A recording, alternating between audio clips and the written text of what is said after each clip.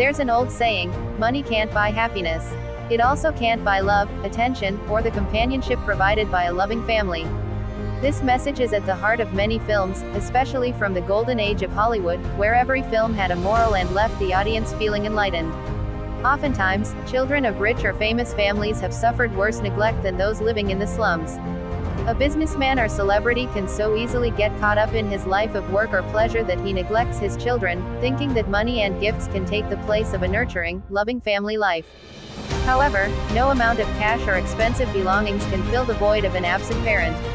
Today's moment of movie wisdom comes from Maisie Was a Lady, 1941, the fourth entry in a 10 film series about streetwise but kind hearted showgirl Maisie Ravier.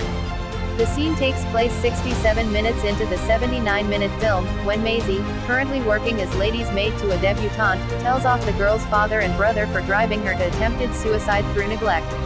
The story, when drunken society boy Bob Rawlston, Lew Ayres accidentally gets Maisie Ravier Ann Sothern fired from her job in a carnival sideshow, he loans her his car to drive into the city. A policeman recognizes the car and arrests her.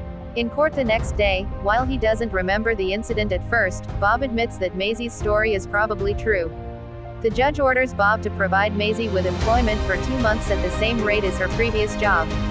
Bob brings her to his family's lavish estate to work as a maid, under the jurisdiction of kindly butler Walpole C.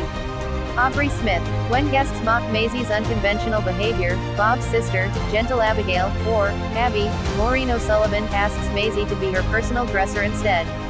Maisie soon discovers that, while the family has everything money can buy, they are very unhappy.